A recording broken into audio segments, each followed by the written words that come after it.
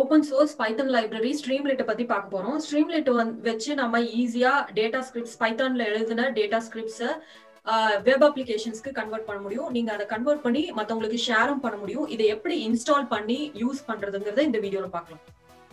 First ஸ்ட்ரீம்லெட்டை install பண்ணிக்கலாம். நீங்க பாத்தீங்கன்னா இன்ஸ்டால் ஸ்ட்ரீம்லெட் அப்படிங்கிற கமாண்ட் வச்சு இன்ஸ்டால் பண்ணணும். என்னோட சிஸ்டம்ல ஆல்ரெடி ரெக்கமெண்ட்ஸ் இருக்கிறதுனால ஸ்ட்ரீம் லைட் ஆல்ரெடி இன்ஸ்டால் பண்ணதுனால ரெக்கமெண்ட்ஸ் ஆல்ரெடி சாட்டிஸ்ஃபைன்னு வந்திருக்கு. இந்த டெமோக்கு நான் பைச்சாம் யூஸ் பண்ண போகிறேன் இப்போது இம்போர்ட் ஸ்ட்ரீம்லிட் ஆஸ் எஸ்டின்னு அந்த லைப்ரரி இம்போர்ட் பண்ணிக்கிறோம். ஸோ எஸ்டி டாட்னு வச்சிங்கன்னா உங்களுக்கு எல்லா அவைலபிள் ஆப்ஷனும் டிஸ்பிளே ஆகும். ஸ்ட்ரீம்லிட்னோட options bar chart write pyplot subheader இந்த மாதிரி. ஃபஸ்ட்டு நம்ம எஸ்டி டாட் டைட்டில் ஸோ இந்த வெப் பேஜுக்கு ஒரு டைட்டில் கொடுக்குறோம். ஹலோ வேர்ல்ட்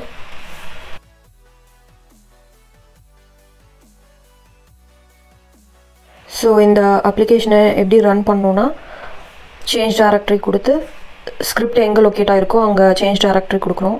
அதுக்கப்புறம் Streamlit run Streamlit underscore example dot py so இதுதான் என்னோடய ஸ்கிரிப்ட் ஸோ அந்த மாதிரி தான் எக்ஸிக்யூட் பண்ணணும் நார்மலாக இது வந்து local host eight five zero ஒன்கிற போர்ட்டில் வந்து எக்ஸிக்யூட் ஆகும்.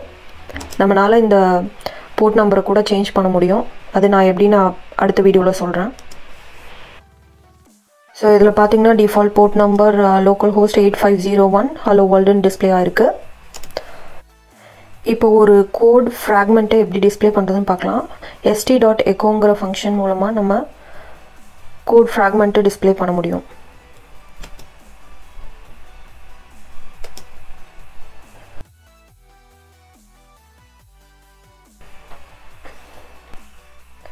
எக்ஸ் ஈக்குவல் டு ஃபிஃப்டீனை டிஸ்பிளே பண்ண போகிறோம் ஸோ இதை ரன் பண்ணி பார்க்கலாம். அதில் பார்த்தீங்கன்னா எக்ஸ் ஈக்குவல் டு ஃபிஃப்டின்னு டிஸ்பிளே ஆகிருக்கு இதே மாதிரி எவ்வளோ வேரியபிள்ஸ் வேணாலும் டிஸ்பிளே பண்ண முடியும்.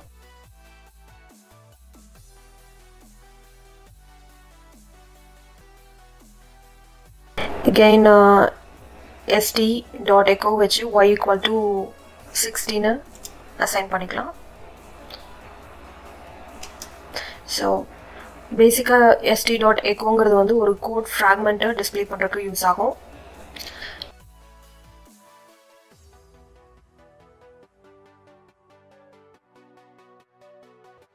நெக்ஸ்ட்டு இசட்டை um, வந்து டிஸ்பிளே பண்ணலாம்.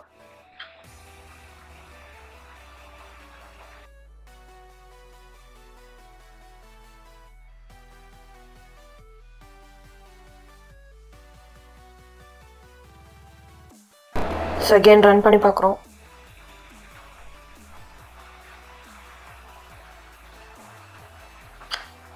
ஸோ எந்த கோட் ஃப்ராக்மெண்ட்டையும் நம்ம டிஸ்பிளே பண்ண முடியும். இப்போ எப்படி ஒரு டேட்டா ஃப்ரேமை வந்து எஸ்டி டாட் ரைட் வச்சு டிஸ்பிளே பண்ணுறதுன்னு பார்க்கலாம்.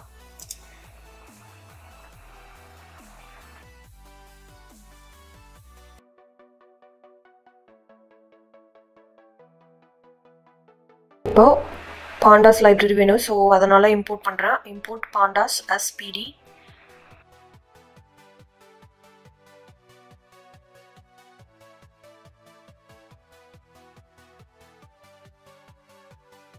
எஸ்டி டாட் ரைட் குள்ளார என்னோட பாண்டாஸ் டேட்டா ஃப்ரேமை இன்சர்ட் பண்ணுறேன் first column one two three four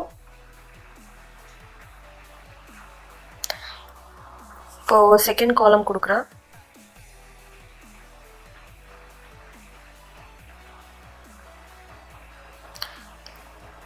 Ten twenty thirty and forty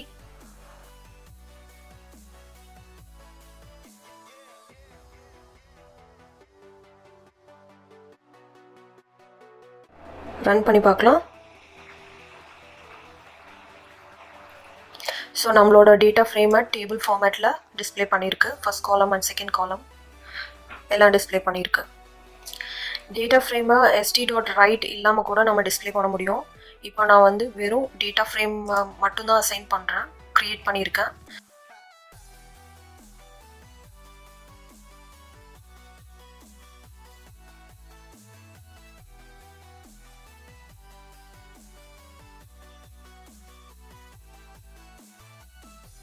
one first column 1 2 3 4 and uh, second column 10 20 30 and 40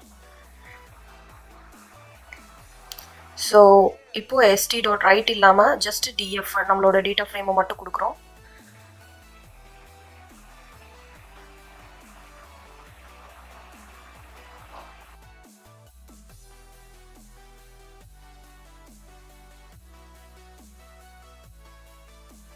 execute பண்ணி பார்க்கலாம்.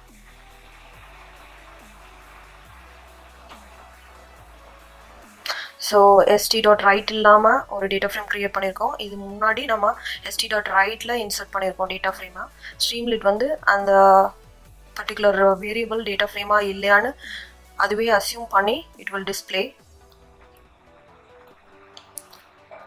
இப்போது எனக்கு நம்பி லைப்ரரி வேணும். இம்போர்ட் நம்பி S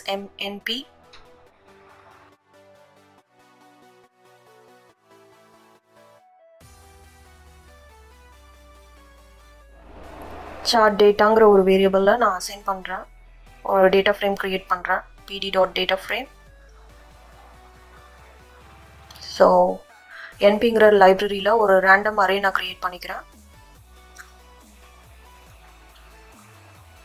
Three by sorry twenty by three அந்த ரேஞ்சில் நான் ரேண்டம் நம்பர்ஸ் க்ரியேட் பண்ணிக்கிறேன். ஒரு மேட்ரிக்ஸ் அண்ட் காலம்ஸ் வந்து ஏபிசின்னு கொடுக்குறேன். இந்த த்ரீ வேல்யூஸ்க்கும் எனக்கு டுவெண்ட்டி வேல்யூஸ் ரேண்டமாக செலக்ட் பண்ணி கொடுக்கும்.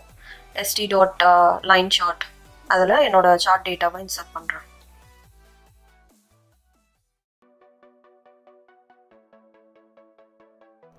ஸோ இது இப்போ ரன் பண்ணி பார்க்கலாம். ஸோ லைன் ஷாட் டிஸ்பிளே ஆயிருக்கு. ஏபிசி ரேண்டமாக ஒரு டுவெண்ட்டி வேல்யூஸ் ஏபிசிக்கு அசைன் ஆயிருக்கு.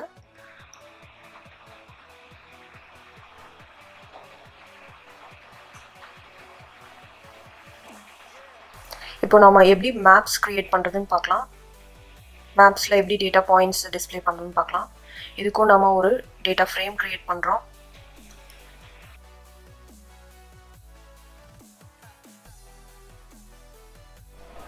கலிஃபோர்னியா மேப்போட ரேண்டம் லேட்டிடியூட் அண்ட் லாங்கிடியூடை அசைன் பண்ணணும். ஸோ அதுக்காகவும் நம்ம ரேண்டம் ஃபங்க்ஷன் யூஸ் பண்ணுறோம் நம்பி லைப்ரரியிலேருந்து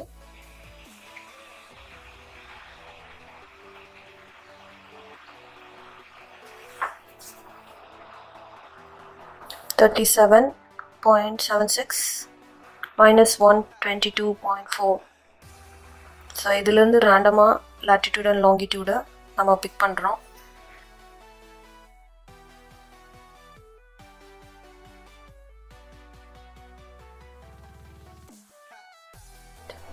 அண்ட் லாங்கிடியூட் லாங்னு வைக்கிறோம்.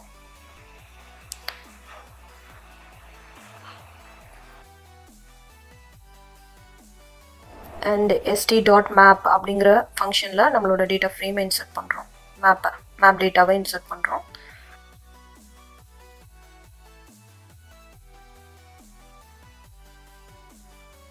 ஸோ ரன் பண்ணி பார்க்கலாம்.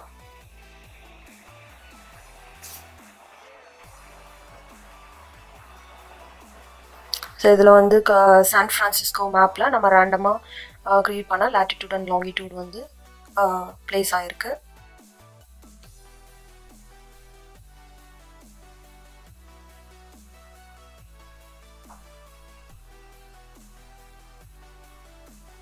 இப்போ நம்ம எப்படி செக் பாக்ஸ் யூஸ் பண்ணுறதுன்னு பார்க்கலாம். ஸோ இதுக்கு நம்ம எஸ்டி டாட் செக் பாக்ஸ் அப்படிங்கிற ஃபங்க்ஷன் யூஸ் பண்ணோம். ஸோ இதில் வந்து ஜஸ்ட் ஒரு ஷோ டேட்டா ஃப்ரேம்ங்கிற டெக்ஸ்ட் டிஸ் டிஸ்பிளே பண்ணுறோம் இதில் வந்து chart data equal to PD dot data frame இதுலேயும் ஒரு டேட்டா ஃப்ரேம் க்ரியேட் பண்ணுறோம் ஸோ இதில் பார்த்தீங்கன்னா இந்த செக் பாக்ஸ் கிளிக் பண்ணால் மட்டும்தான் இந்த பர்டிகுலர் டேட்டா ஃப்ரேமை வந்து டிஸ்பிளே பண்ணும். ஸோ இந்த டேட்டா ஃப்ரேமை நம்ம ஒரு லைன் சார்ட்டாக டிஸ்பிளே பண்ண போகிறோம் அதே இதுதான் காலம்ஸ் ஏபிசி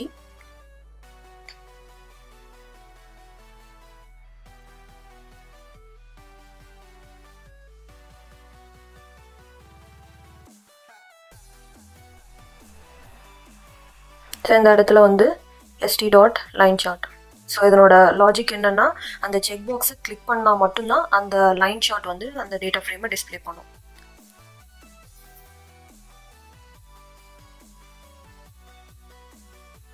ஷோ டேட்டா ஃப்ரேம்னு காமிக்கும். இஃப் தட் இஸ் கிளிக்டு அப்படிங்கும்போது நம்ம அந்த டேட்டா ஃப்ரேமை க்ரியேட் பண்ணி அதை லைன் சார்ட்டாக டிஸ்பிளே பண்ணுறோம்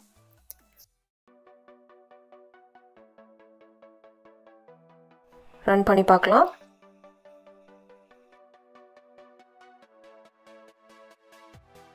ஸோ ஷோ டேட்டா ஃப்ரேம்ங்கிற செக் பாக்ஸ் இருக்குது அதை கிளிக் பண்ணோன்னா லைன் ஷாட் வந்து டிஸ்பிளே ஆயிருக்கு. அதை வந்து டிசேபிள் பண்ணோன்னா இன்விசிபிள் ஆயிரும்.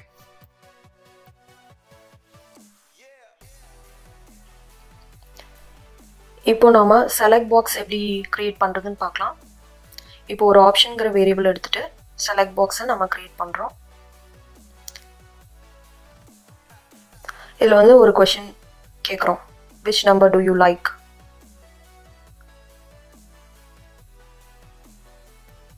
so இதில் நம்மளோட டேட்டா ஃப்ரேம் ஆல்ரெடி க்ரியேட் பண்ண டேட்டா ஃப்ரேம் ஃபஸ்ட் காலம் அதை வந்து டிஸ்பிளே பண்ணுறோம்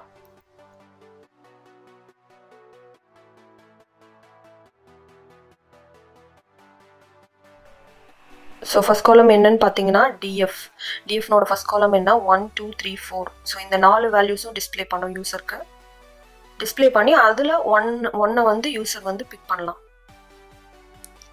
ஸோ அது ஒன்ஸ் செலக்ட் பண்ணோன்னா நம்ம வந்து நீங்கள் இந்த ஆப்ஷனை சூஸ் பண்ணியிருக்கீங்கன்னு டிஸ்பிளே பண்ணுறோம் you select this option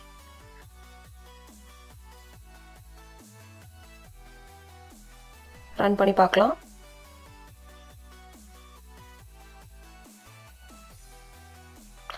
so டிஃபால்ட்டாக ஃபஸ்ட்டு காலம் வேல்யூ தான் டிஸ்பிளே ஆகும். நம்ம எதை வேணால் பிக் பண்ண முடியும். லைக் டூ பிக் பண்ணோன்னா யூ செலக்டட் டூன்னு வரும். அதே மாதிரியே த்ரீ ஃபோர் அது மாதிரி எது கிளிக் பண்ணாலும் அது அப்டேட் ஆகிக்கும் அந்த பர்டிகுலர் டெக்ஸ்ட்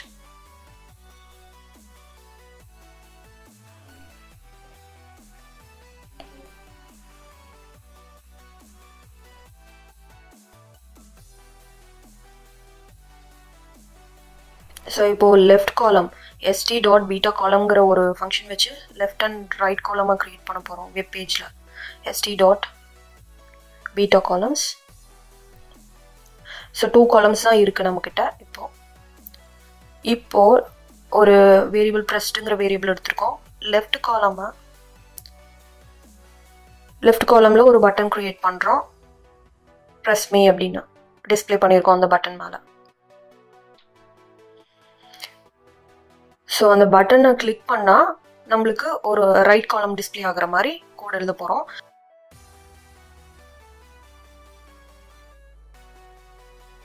இஃப் அந்த பட்டன் இஸ் ப்ரெஸ்ட் ரைட் காலம் வந்து ஷோ ஆகும். அந்த ரைட் காலமில் நம்ம என்ன ரைட் பண்ணுறோம் அப்படின்னா ஏதோ ஒரு டெக்ஸ்ட் வந்து ரைட் பண்ணியிருக்கோம் and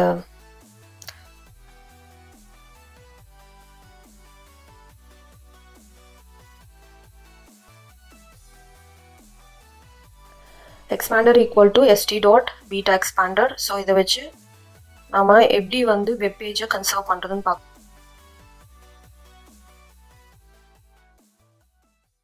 இதில் ஃப்ரீக்வெண்ட்லி ஆஸ்ட் கொஷின்ஸ் இதை வந்து டிஸ்பிளே பண்ண போகிறோம் இது மெயினாக எதுக்கு யூஸ் ஆகும் அப்படின்னா very lengthy sentences very long sentences வந்து டிஸ்பிளே பண்ணிட்டு இன்விசிபிள் ஆக்கிறதுக்காக நம்ம பீட்டா எக்ஸ்பேண்டர் யூஸ் பண்ணிக்கலாம். Expander dot write here you can put really really long explanations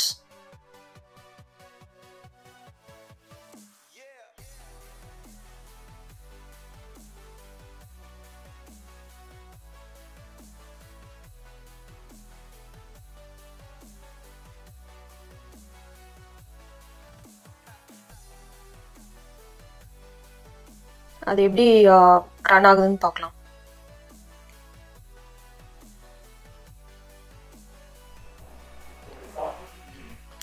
so left காலமை press பண்ணோம் அப்படின்னா நம்மளுக்கு ரைட் காலம் வந்து டிஸ்பிளே ஆகும்.